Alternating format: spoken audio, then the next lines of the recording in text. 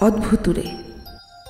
অদ্ভুতুরের উদ্দেশ্য কেবলমাত্র বিনোদন। কোনো রকম কুসংস্কার প্রচার নয়।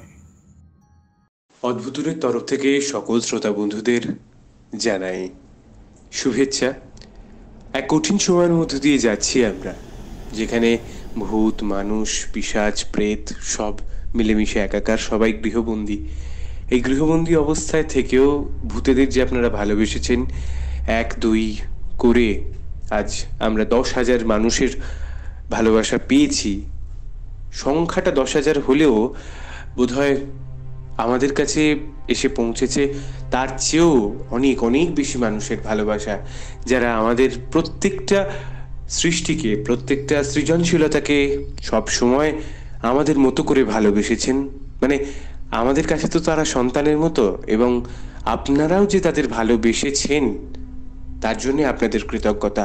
শুধু দশ হাজারে আমরা হয়তো থেমে থাকব না, আপনাদের আশীর্বাদে সেই সংখ্যাটা ক্রমাগত বাড়তে থাকবে। এই আশীর্বাদ আপনাদের কাছ থেকে চেয়ে নেব এবং সঙ্গে সঙ্গে বলব, আপনারা সঙ্গে ছিলেন বলেই এই রকমভাবেই আমরা আমাদের মতো করে একটা স্বপ্ন পূরণের স্বপ্ন দেখতে পাচ্ছি হয়তো। আজকে আমরা লাইভ রয়েছি আর আমার সঙ্গে রয়েছে সুচন্দ্রা এবং পূর্ণেন্দু। তবে এই লকডাউনে যে বিষয়টা যার মাথায় মানে অদ্ভুতুরের বিষয়টা যার মাথায় প্রথম আসে, সেটা হচ্ছে সুচন্দ্রা। আজকে সুচন্দ্রাকে কয়েকটা প্রশ্ন করে পরপর পরপর জেনে নেব অদ্ভুতুরের সম্পর্কে। যদিও সে বিষয়গুলো অনেকেই জানতে চেয়েছেন যে কীভাবে এলো এই ধরনের ভাবনা, চিন্তা। সুচন্দ্রা প্রথমেই তোমার কাছে জানতে চাইব, কীভাবে এলো প্রথম ভাবনা, চিন্তা? আর তুমি কেমন আছো? ভূত জিনিসটা কিন্তু বেশ মজাদার। মানে আশা করি অনেকেই সহমত হবে যে ছোটোবেলায় ভূতের গল্প কিন্তু একটা আমাদের লাইফের পার্ট ছিল। সমস্ত গল্পের মধ্যে ভূতের গল্পের বই আমাদের বাড়িতে আসতোই। মানে আমার বাড়িতে তো আসতো। সেই পাতলা পাতলা ষোলো টাকা আটশো টাকার বইগুলো। এবং এক নিঃশ্বাসে সঙ্গে সঙ্গেই সেটা পড়ে শেষ করে ফেলতাম। ভূত জিনিসটা আমার স্পেশালি বরাবর খুব ভালো লাগে। ওই যে হঠাৎ করে একটা জাম্পস্কেয়ার কি বেরিয়ে আসবে বন্ধ ঘরের ভেতর থেকে বা খাটের তলায় কেউ লুকিয়ে আছে কি না বা সিঁড়িতে অন্ধকারের মধ্যে কেউ ঘাপটি মেরে বসে আছে কি না সেইটা বেশ বরাবর আমার ভালো লাগে ইন্টারেস্টিং লাগে আর কি।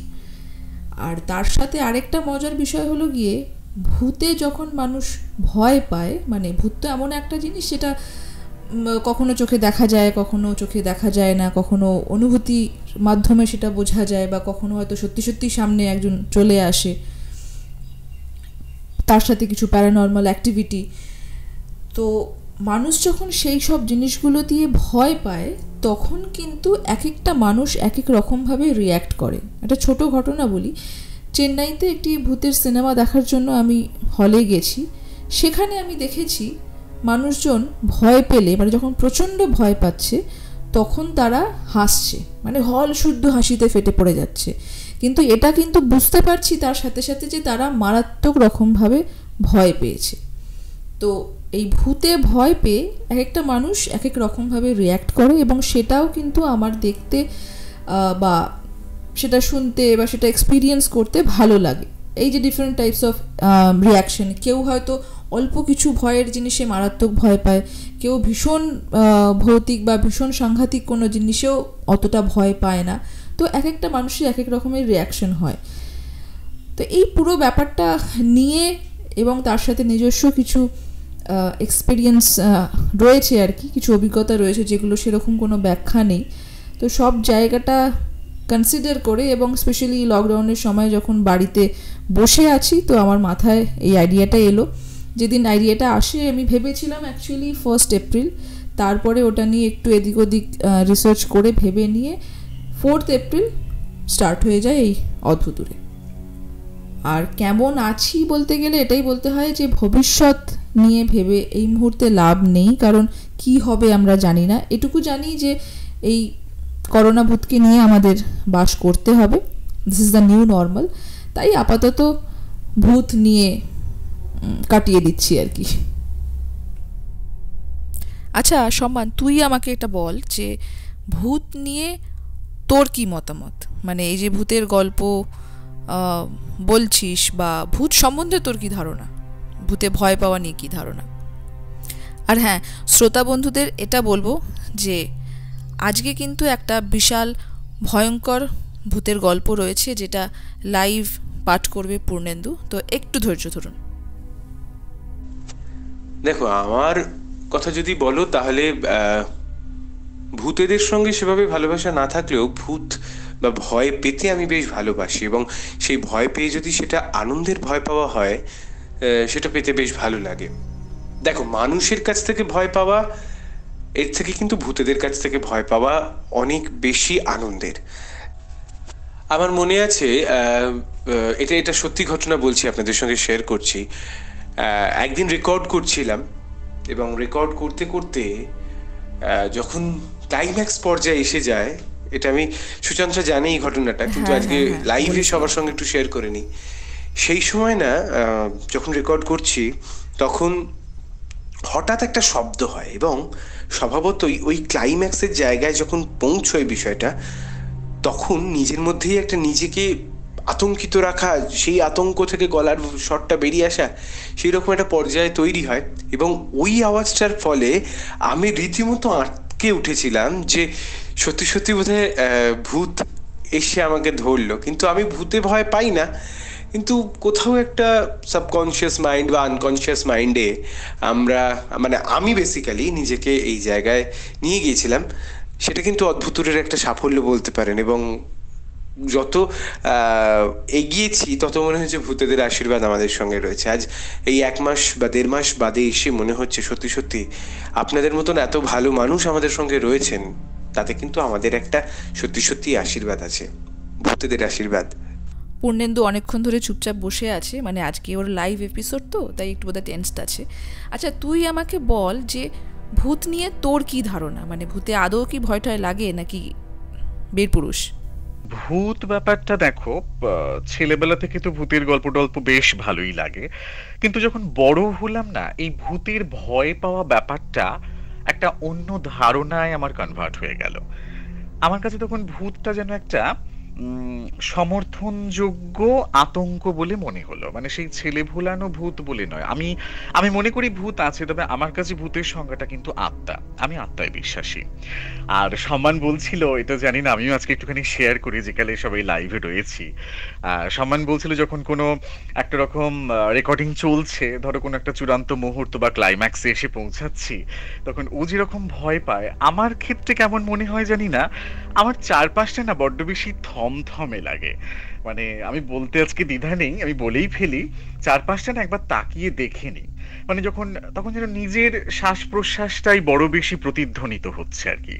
তো একবার দেখে নিই, কীরকম একটা ছমছমে ভাব, পরিবেশ, পরিস্থিতি তৈরি হয়। তো সম্মান বলল যেটা যে হয়তো ভূতেরাও আমাদের এই সঙ্গে রয়েছে, আমাদের এই উদ্যোগকে সাধুবাদ জানিয়ে শুনছে, তারাও শ্রোতা হয়তো।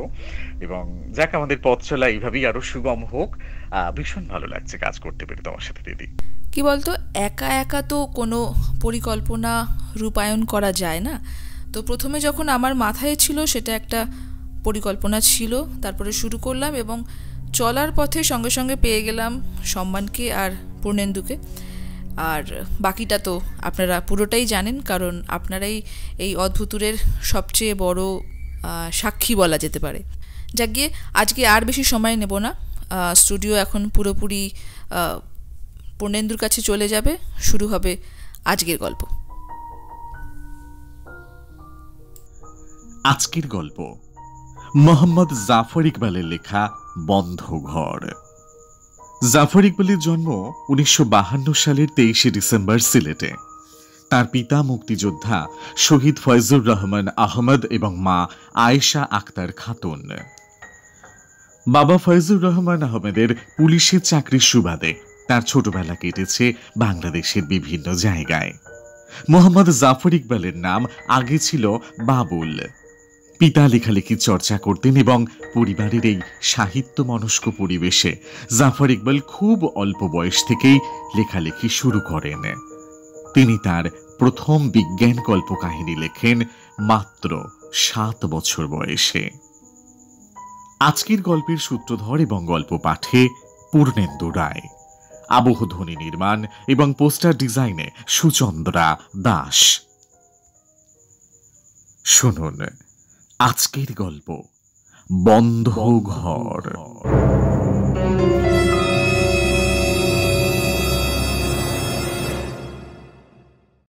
আমাকে একবার কিছুদিনের জন্য পচাগড় যেতে হয়েছিল। কাউকে চিনি না আমি সেখানে। আমার অফিসের একজন একটা বাসা খুঁজে বের করে দিল। বাসার মালিক আমাকে চাবিটি ধরিয়ে দিয়ে বললেন থাকেন এখানে যতদিন খুশি। তবে তবে কি? রাত বিরেতে বাসায় নানা রকম শব্দ শোনা যায়। ভয় পাবেন না। আমি কৌতূহলী হয়ে বললাম কিসের শব্দ? ভদ্রলোক কাঁধ ঝাঁকুনি দিয়ে বললেন লোকে বলে ভূতের তবে তবে কারও কোনো ক্ষতি করে না।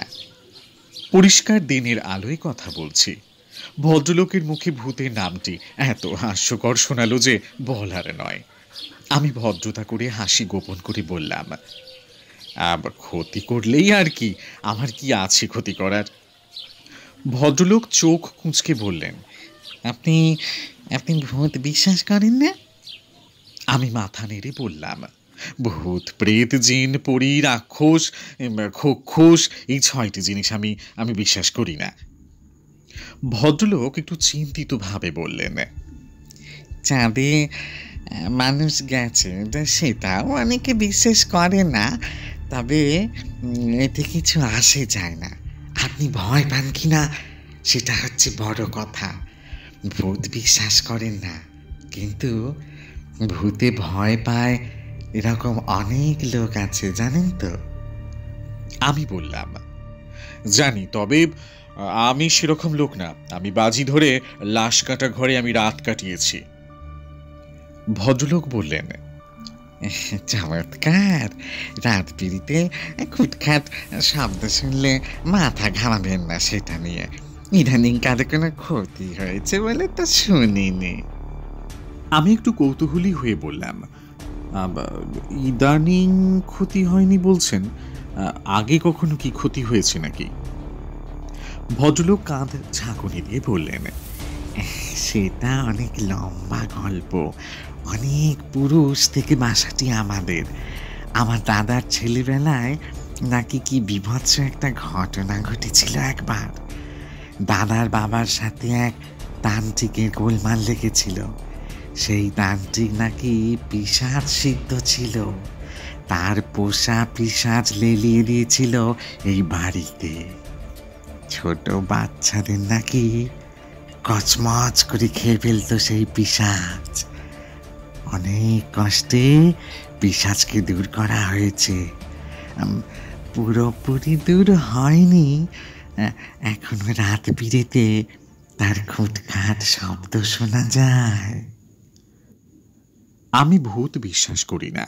কিন্তু এই বাসায় এককালে পিসাজ ছোট বাচ্চাদের কচমচ করে খেয়ে ফেলেছিল শুনে কেমন জানি দমে গেলাম। পিসাজ না হোক, কোনো জন্তু জানোয়ার নিশ্চয়ই কোনো বাচ্চাকে ধরে নিয়ে গিয়েছিল। কি ভয়াবহ ব্যাপার। ভদ্রলোক বললেন, তারপর তিন পুরুষ পার হয়ে গেছে। কখনোই কিছু হয়নি। ভয় না পেলেই হলো। শব্দ তো কত রকমেরই হয়। আমি বললাম, আপনি নিশ্চিন্ত থাকবেন, আমি আমি ভয় পাবো না। ভদ্রলোক চাবিটি হাতে ধরিয়ে দিয়ে চলে যেতে যেতে বললেন দক্ষিণ দিকের ঘরটি তালা মারা আছে, সেটা চাবি নেই। ঘরটি সবসময় তালা মারাই থাকে। সব সময় হ্যাঁ একশো বছরের উপর হলো। কখনো খোলা হয়নি?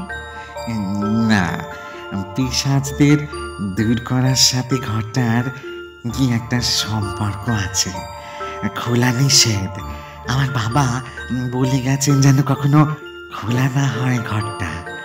আমরাও আমরাও খুলিনি।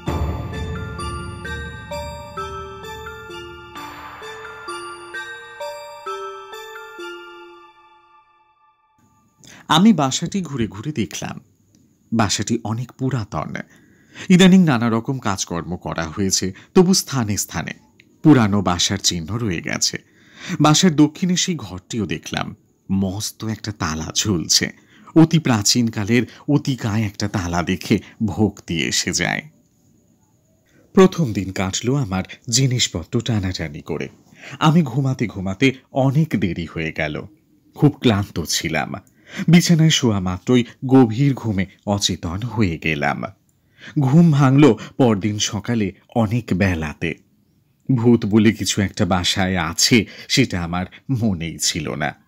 ঘুমের মাঝে শুধু একটা স্বপ্ন দেখেছিলাম। আমি দক্ষিণের বন্ধ ঘরের সামনে গিয়ে দরজার তালাটা ধরে টানাটানি করছি। কেন এই স্বপ্ন দেখলাম, কে জানে? পরদিন রাতেও একই স্বপ্ন দেখলাম। বন্ধ ঘরের সামনে গিয়ে তালাটি ধরে টানাটানি করছি। স্বপ্নটি অত্যন্ত বাস্তব, যেন সত্যি সত্যি টানছি। তৃতীয় রাতে আবিষ্কার করলাম, স্বপ্ন নয়। সত্যি সত্যি আমি ঘুমের মাঝে হেঁটে হেঁটে বন্ধ ঘরের সামনে গিয়ে তালাটি ধরে টানাটানি করছি। ঘুমের মাঝে হাঁটাহাঁটি করার অভ্যেস আমার কোনো কালেই ছিল না। হঠাৎ কেন শুরু হলো কে জানে? ঘুম ভাঙার পর। অনেকক্ষণ লাগে বুঝতে আমি কোথায়, কি করছি। যখন বুঝতে পারলাম আমি বন্ধ ঘরটির সামনে দাঁড়িয়ে আছি, কেন জানি গায়ে কাঁটা দিয়ে উঠল। তাড়াতাড়ি তালাটি ছেড়ে সরে এলাম। আর ঠিক তখন প্রথমবার আমি বাড়ির মালিকের বলা ভুতুরে শব্দ শুনতে পেলাম।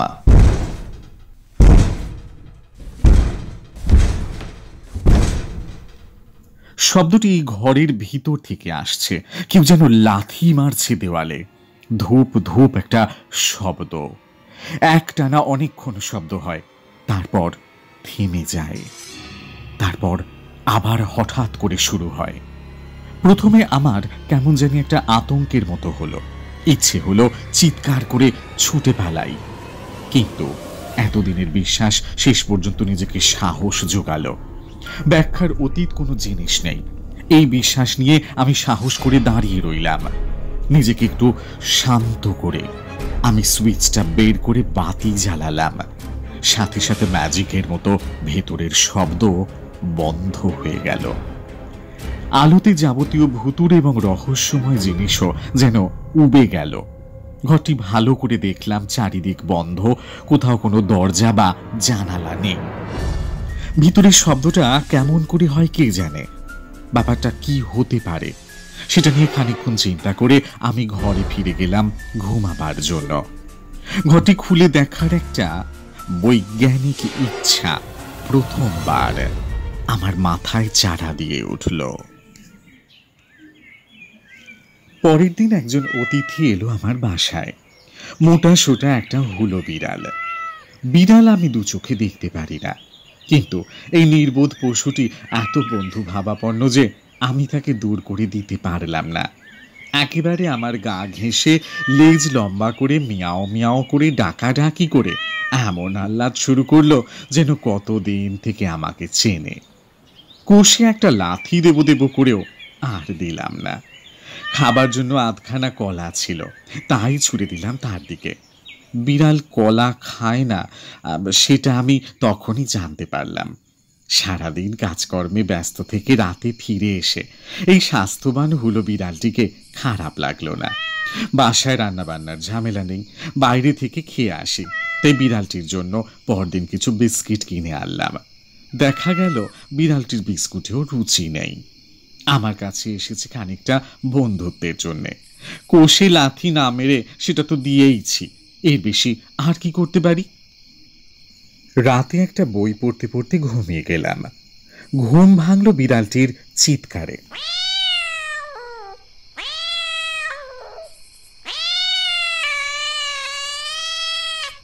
মাঝরাতে বিড়ালের কান্না ভয়াবহ জিনিস। খানিকক্ষণ চিৎকার করে থেমে যায়। আমার চোখে যখন ঘুম নেমে আসে, বিড়ালটি তখন আবার কান্না শুরু করে। কয়েকবার চেষ্টা করে আমি হাল ছেড়ে দিয়ে বিছানায় উঠে বসলাম। কিন্তু তক্ষণে শুনতে পেলাম বন্ধ ঘরে ধূপ ধূপ করে সেই শব্দটা আবার হচ্ছে।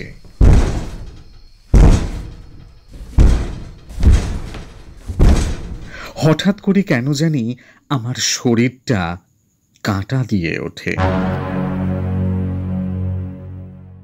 আমি মোটামুটি দুঃসাহসী মানুষ। দুঃসাহসী মানুষ ভয় পায় না, সেটা সত্যি নয়। দুঃসাহসী মানুষেরাও ভয় পায়। তবে ভয় পেলেও মাথা ঠান্ডা রাখে। মাথা ঠান্ডা রাখলে দেখা যায়, যে জিনিসটা দেখে ভয় পাচ্ছে, সেটাতে ভয়ের কিছু আছে কি না আমিও মাথা ঠান্ডা রেখে নিজেকে বোঝালাম, শব্দ হচ্ছে, সত্যি। কিন্তু শব্দটি অলৌকিক হতে হবে, এমন তো কোনো কথা নেই। নিশ্চয়ই কোনো একটি কারণ আছে। একটা কিছু হয়তো বেকায়দাভাবে ঝুলছে আর বাতাস এলেই ওটা নড়ে কোথাও লেগে শব্দটা হচ্ছে। কিংবা কে জানে, হয়তো কোনো স্বাস্থ্যবান ইঁদুর, বেড়াল বা অন্য কোনো জন্তু জানোয়ার শব্দটা করছে। নিজেকে সাহস দিয়ে আমি ঘর থেকে বের হয়ে বন্ধ ঘরটির সামনে দাঁড়ালাম। সাথে সাথে ভিতরের শব্দ বন্ধ হয়ে গেল। বিড়ালটিও তার কান্না থামিয়ে একটু ভয় পেয়ে যেন আমার দিকে তাকালো। আমি তার দিকে একটু এগিয়ে যেতেই লেজ ফুলিয়ে এমন ভয়ঙ্কর একটা ভঙ্গি করল যেন আর একটু এগুলেই সে আমার উপর ঝাঁপিয়ে পড়বে। আমি একটু সরে এলাম। এত বন্ধু ভাবাপন্ন বিড়ালটি। হঠাৎ খেপে গেল কেন কি জানে? বিড়ালটি হঠাৎ আগের মতো কান্নার সুরে ডাকতে শুরু করে। শুধু যে ডাকতে শুরু করে তাই নয়, সাথে সাথে ছটপট করতে থাকে। একটা প্রচণ্ড অস্থিরতার মতো। একবার এগিয়ে যায়, আবার পিছিয়ে আসে। হঠাৎ মাটিতে গড়াগড়ি দিতে থাকে। ভারী বিচিত্র ব্যাপার। আমি কিছু করব বুঝতে না পেরে কষে একটা লাথি দেবার জন্য এগিয়ে গেলাম। ঠিক তক্ষণে ঘরের ভিতর থেকে ধূপ ধূপ শব্দ শুরু হয়ে যায়। বিড়ালটি হঠাৎ থেমে গেল। তারপর মাটি খামচে প্রায় গড়িয়ে গড়িয়ে আমার কাছে এগিয়ে এলো। বেটা ভয় পেয়েছে। সত্যি কথা বলতে কি, আমারও ভয় করতে থাকে। সেটাই হয়েছে মুশকিল। ভয়কে প্রশ্রয় দেওয়া ঠিক না। মানুষ ভীতু হয়ে যায় তাহলে। আমি ঠিক করলাম, ঘরের ভিতর ঢুকে দেখতে হবে কি আছে। কাছে গিয়ে তালাটা যে স্পর্শ করেছি, সাথে সাথে ভিতরের শব্দ বন্ধ হয়ে গেল। বিড়ালটাও দেখলাম সোজা হয়ে দাঁড়াল তখন। লেজটা লম্বা করে একবার আদুরে গলায় ডাকলো আমাকে। তালাটি পুরনো হলেও মজবুত, ভাঙা প্রায় দুঃসাধ্য ব্যাপার। আবার ভালো করে পরীক্ষা করে আবিষ্কার করলাম, কবজাগুলি ক্ষয়ে গেছে, সহজেই খুলে ফেলা যাবে। যাওয়ার সময় নতুন কবজা কিনে লাগিয়ে দিলেই হবে, বাড়ির মালিক কখনো জানতেও পারবে না। যে এটা কখনো খোলা হয়েছিল। আমি আমার যন্ত্রপাতির বাক্সটা নিয়ে এলাম। মানুষজন শুনে অবাক হয়ে যায়, কিন্তু সত্যি আমার একটা ছোট যন্ত্রপাতির বাক্স আছে। সেই বাক্সে হাতুড়ি, প্লায়ার্স, স্ক্রুড্রাইভার, ড্রিল নাট বল্টু এইসব থাকে। কখনো এই বাক্স আমি হাত ছাড়া করি না। কাজেই প্রয়োজনের সময় একটা স্ক্রুড্রাইভারের জন্যে। কখনোই আমার সারা বাড়ি আকাশ পাতাল করে খুঁজে মেজাজ গরম করতে হয় না। দরজার প্রথম কবজাটা খুলে শেষ করতে করতেই বিড়ালটির একটি পরিবর্তন হলো। হাসি খুশি বিড়ালটি আবার খেপে গেল। চিৎকার করে লাফিয়ে কুদিয়ে এমন একটা ভয়াবহ পরিবেশে সৃষ্টি করল যে আমি সত্যি সত্যি এবারে কোষে একটা লাথি লাগালাম। আশ্চর্য ব্যাপার, লাথি খেয়েও সেটা পালিয়ে গেল না। আমার চারিদিকে ঘুরে ঘুরে ডাকতে থাকল। আর ঠিক তখন হঠাৎ ঘরের ভিতর থেকে ধূপ ধূপ শব্দ শুরু হলো। বিড়ালটা তখন আবার ভয়ে আধমরা হয়ে আমার কাছে কোনো মতে এগিয়ে এলো। আমি এই মাঝরাতে কয়েকটি বিচিত্র জিনিস আবিষ্কার করলাম। প্রথমত, ঘরের ভিতরে ধূপ ধূপ শব্দ শুরু হওয়ার আগে বিড়ালটি কেমন করে যেন টের পায়। তখন সেটি ভয়ানক, অস্থির হয়ে ওঠে। দ্বিতীয়ত, আমার এত জোরে লাথি খেয়েও বিড়ালটি পালিয়ে না গিয়ে আশেপাশে ঘুরঘুর করছে। এই জায়গাটি ছেড়ে বিড়ালটির সরে যাবার যেন ক্ষমতা নেই। কিছুক্ষণের মাঝে রহস্য পরিষ্কার হবে চিন্তা করে আমি জোর করে উৎফুল্ল হওয়ার চেষ্টা করতে থাকি। ভিতরে ধূপ ধূপ শব্দের মাঝেই আমি দরজার দ্বিতীয় কবজাটি খুলে ফেলি। টেনে পুরনো ভারী দরজা সরাতেই আমি অবাক হয়ে গেলাম। সামনে দেওয়াল ইট গেঁথে কে যেন পাকাপাকি ভাবে বন্ধ করে দিয়েছে। আশাভঙ্গ না হয়ে আমি কেন জানি খুশি হয়ে উঠলাম। ভিতরে ঢুকে কি দেখব সেটা নিয়ে কেমন একটা চাপা অশান্তি আর ভয় ছিল।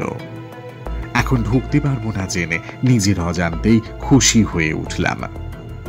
নিজের ঘরে ফিরে এসে আমি পুরো ব্যাপারটা আবার খানিকক্ষণ ভাবলাম। সবাই জানে আমি দুঃসাহসিক ব্যক্তি। সেটি সত্যি নয়। আমি আসলে ভীত। ঘরটায় ঢুকতে না পেরে তাই খুশি হয়ে উঠেছি। নিজের কাছে নিজেকে ছোট করা যায় না। আমি তাই আবার উঠে দাঁড়ালাম। দেয়ালটি ভেঙে ভেতরে ঢুকতে হবে। প্রমাণ করতে হবে। আমি ভীত নয় জিনিসটি যত কঠিন ভেবেছিলাম, তত কঠিন নয়। নিশ্চয়ই প্রচুর বালু মেশানো ছিল। একটু চেষ্টা করতেই একটা ইট খুলে গেল। ইট সরে এসে দেওয়ালে ছোট একটা গর্ত হয়েছে। ভয়ে ভয়ে উঁকে দিয়ে দেখি ভিতরে নিশ্ছিদ্র অন্ধকার। আমার যন্ত্রপাতির বাক্সে একটি ছয় ব্যাটারির টর্চ লাইট থাকে। আমি সেটা নেবার জন্য নিচু হতে একটি বিচিত্র ব্যাপার ঘটল। বিড়ালটি হঠাৎ আবার খেপে উঠে চিৎকার করে দেওয়ালের ওপর আঁচড়াতে থাকে। তারপর কিছু বোঝার আগেই কয়েকটা লাফ দিয়ে সেই গর্তটা ধরে ঝুলে পড়ে ভিতরে ঢোকার চেষ্টা করতে থাকে। একটা বিড়াল ছোট একটা গর্তে ঢোকার চেষ্টা করছে সেটা বিচিত্র কিছু নয়। কিন্তু আমি অবাক হয়েছি অন্য কারণে। বিড়ালটি ভয়ঙ্কর ভয় পেয়েছে। কিন্তু ভয় পেয়েও সেই গর্তটা দিয়ে ঘরটায় ঢুকে যাচ্ছে। আমি পরিষ্কার বুঝতে পারছি, বিড়ালটি ঘরটাতে ঢুকতে চায় না। কিন্তু তার কোনো উপায় নেই। আমি পশু বিশারদ নই। কিন্তু বেঁচে থাকা সংক্রান্ত আদিম প্রবৃত্তিগুলি মানুষ আর পশু সবার বুঝি একই রকম। বিড়ালটিকে টেনে নামিয়ে আনব আনব করতে করতেই সেটি ভিতরে ঢুকে গেল। ভিতরে খানিকক্ষণ প্রাণ ফাটানো চিৎকার আর হুটোপুটি জাতীয় শব্দ হলো। তারপর হঠাৎ কোনো শব্দ নেই। একেবারেই কোনো শব্দ নেই। কোনো শব্দ পেলে মানুষের শিরদাঁড়া দিয়ে ভয়ের একটা স্রোত বয়ে যায় বলে শুনেছি। সত্যি সত্যি সেটা আমার শিরদাঁড়া দিয়ে বয়ে গেল। আমি ভয়ে ভয়ে ছোট গর্তের দিকে তাকিয়ে থাকি। কেন জানি মনে হয় এখনই গর্ত থেকে একটি বিভৎস মুখ বের হয়ে আসবে। ঘরটিতে একটি পিসাচ বন্দি করে রাখা ছিল। আমি নিশ্চয়ই তাকে খুলে দিয়েছি।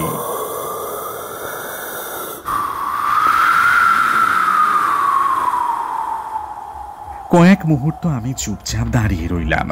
গর্তটি থেকে কিছু বের হলো না। কিছু দেখা গেল না। আমি বড় টর্চ লাইটটা দিয়ে আস্তে আস্তে গর্তের কাছে এগিয়ে গেলাম। সাবধানে আলোটা ভিতরে ফেলে উঁকি মারলাম। নিজের চোখে বিশ্বাস হয় না। ছোট একটা চৌকোনা ঘর, ভিতরে কিছু নেই। অবিশ্বাস্য ব্যাপার। এইমাত্র বিড়ালটা লাফিয়ে ঢুকেছে ভিতরে, বিড়ালটাও নেই। বিস্ময় থেকেও আমার বেশি হলো আতঙ্ক। ছয় ব্যাটারির বড় টর্চ লাইটের তীব্র আলোতে ঘরটা আলোকিত হয়ে আছে, কোথাও কিছু নেই। শুধু ঘরের মাঝখানের মেঝেতে একটা বৃত্ত আঁকা। ধুলায় ঢাকা পড়ে গেছে আবছা দেখা যায়। সেই বৃত্তের দিকে তাকিয়ে থাকতে থাকতে আমার মাথা ঝিমঝিম করে উঠল। আর হঠাৎ করে কোথা থেকে জানি ঘরের ঠিক মাঝখানে বিড়ালের মাথাটা পড়ল। কেউ যেন কামড়ে মাথাটি আলাদা করে নিয়েছে। রক্তে মাখামাখি বিভৎস একটা জিনিস। আমি একটা চিৎকার করে সরে এলাম। থরথর করে শরীর কাঁপছে। কিছুতেই থামাতে পারছি না। অনেক কষ্টে নিজেকে শান্ত করলাম। আর নয়, যথেষ্ট হয়েছে। আমি খুলে আনা ইটটা তুলে গর্তটা আবার বন্ধ করতে যাচ্ছিলাম। কিন্তু হঠাৎ কেন জানি মনে হলো, আমার এখন ভিতরে ঢুকতে হবে। ভয়ে আমার শরীর কাঁপছে। কিন্তু তবু আমার মনে হতে থাকল, ভিতরে ঢুকতে হবে। কেন জানি না, কিন্তু ঢুকতেই হবে। একটু আগে বিড়ালটিও ভয় পেয়েছিল, তবু বিড়ালটি ঢুকেছিল। এখন আমিও ভয় পাচ্ছি, কিন্তু আমাকেও ঢুকতে হবে। প্রচণ্ড জ্বর হলে মানুষের চিন্তা করার ক্ষমতা যেরকম গলিয়ে যায়, আমারও সেই রকম হলো। হাতুড়ির আঘাতে আমি দ্রুত দেওয়াল থেকে ইট খুলে নিতে থাকি। কয়েক মিনিটেই। কোনো মতে শরীর গলিয়ে ঢুকে যাওয়ার মতো একটা বড় গর্ত করে ফেললাম। ঠিক কীভাবে আমি ভিতরে ঢুকেছি পরিষ্কার মনে নেই। তবু আমার মনে হচ্ছিল, ঘরের ভিতর ঢুকলে ভয়ানক কিছু একটা ঘটে যাবে। কিন্তু তবু আমাকে ঢুকতেই হবে। ভিতরে ঢুকে মনে হলো কিছুতেই ঘরের মাঝখানে যাওয়া ঠিক হবে না। কিন্তু ভয়ানক কিছু একটা আমাকে প্রবলভাবে আকর্ষণ করতে থাকে মাঝখানে যাওয়ার জন্যে। আমার হঠাৎ বিড়ালটির কথা মনে পড়ল। অসহায় বিড়ালটি কীভাবে নিজের ইচ্ছের বিরুদ্ধে ঘরের মধ্যে ঢুকেছিল? আমিও কি সেই বিড়ালটির মতো শেষ হয়ে যাব। আমার ছিন্ন মাথাটাও কি ওই বৃত্তের মাঝখানে এসে পড়বে? ভয়াবহ আতঙ্কের মাঝেও বেঁচে থাকার আদিম প্রবৃত্তি ভিতরে কাজ করতে থাকে। আমি জোর করে নিজেকে ঘরের এক কোনায় টেনে নিয়ে গিয়ে হাঁটু ভাঁজ করে বসে থর থর করে কাঁপতে থাকি। প্রাণপণ চেষ্টা করতে থাকি নিজের আচ্ছন্ন ভাবটা ঝেড়ে ফেলতে। ঘরের মাঝখানে হঠাৎ একটা হুটোপুটির মতো শব্দ হলো। মুখে গরম বাতাসের হলকা এসে লাগল। সাথে সাথে মাংস পোড়ার মতো একটা গন্ধ আসছে কোথা থেকে। কিছু একটা আছে এই ঘরে। ভয়ঙ্কর শক্তিশালী একটা কিছু। প্রচণ্ড আক্রোশে সেটা ছিন্ন ভিন্ন করে দেবে সব কিছু আমি পরিষ্কার বুঝতে পারছি, এই ঘরে আমার সাথে আরও একজন আছে। ভয়ঙ্কর অশুভ একটা জীব দেখা যাচ্ছে না। কিন্তু তার অস্তিত্বকে অস্বীকার করবে কে? আমার নিঃশ্বাস আটকে আসতে থাকে। সমস্ত শরীর ঘামতে থাকে কুলকুল করে। ঘরের মাঝখানে আবার একটা শব্দ হলো। বিভৎস একটা শব্দ।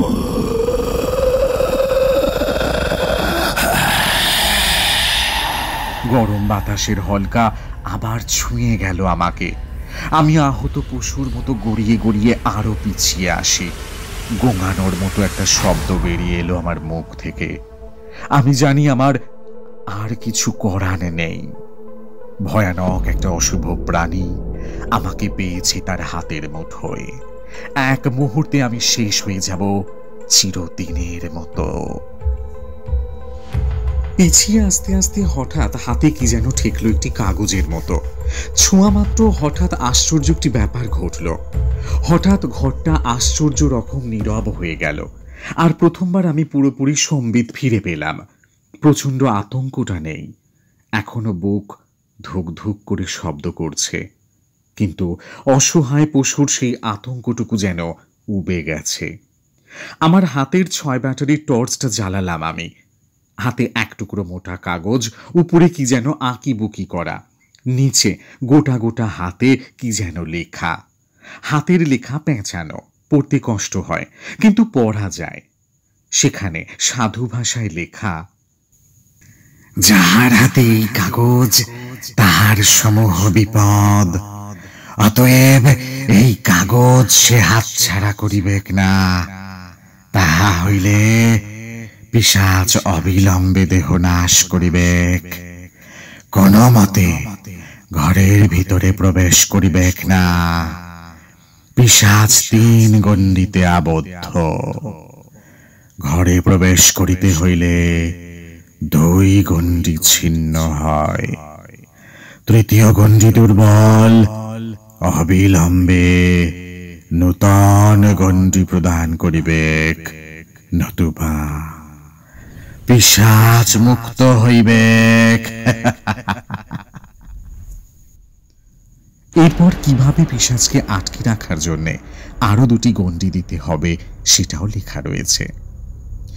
আমি ভূত প্রেত কিংবা পিসাচ বিশ্বাস করি না, কিন্তু এই জীর্ণ কাগজে লেখা নির্দেশ অক্ষরে অক্ষরে মেনে দুটি নতুন বৃত্ত এঁকে ঘর থেকে বের হয়ে এসেছিলাম।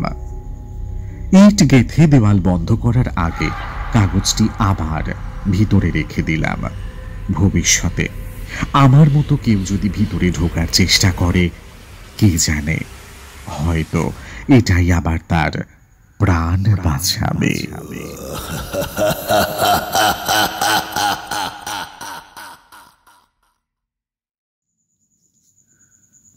এতক্ষণ শুনছিলেন আজকের গল্প মোহাম্মদ জাফর ইকবালের লেখা বন্ধ ঘর গল্পের সূত্রধর আমি পূর্ণেন্দু। আবহ ধ্বনি নির্মাণ এবং পোস্টার ডিজাইনে সুচন্দ্রা দাস। জানাবেন, কেমন লাগল? আর সাবস্ক্রাইব করুন আমাদের ইউটিউব চ্যানেল অদ্ভুতুরে পডকাস্ট। পিসাজকে আটকে রাখা মুশকিল।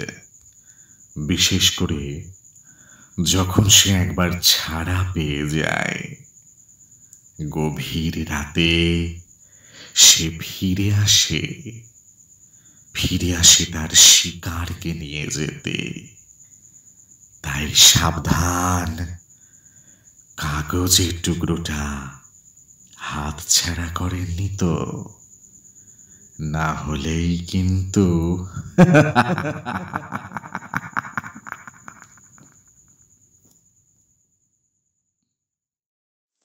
আরও একটা কথা বলার, যতদিন লকডাউন চলছে প্লিজ সবাইকে অনুরোধ করছি, বাড়িতে থাকুন। ঘরে থাকুন, নিজেদের পরিবারের সঙ্গে থাকুন, কারণ এই সময়টাকে যদি আমরা কাটিয়ে উঠতে পারি, তাহলেই বোধহয় একটা ভালো সময় আমরা সবার সামনে দেখতে পাবো। তার জন্যই অপেক্ষা করছে গোটা পৃথিবী। আর কি, আর কিছু বলার নেই। ভালো থাকুন, সুস্থ থাকুন, সাবধানে থাকুন, ভূতেদের ভালোবাসুন, আমাদের ভালোবাসুন। Thank you so much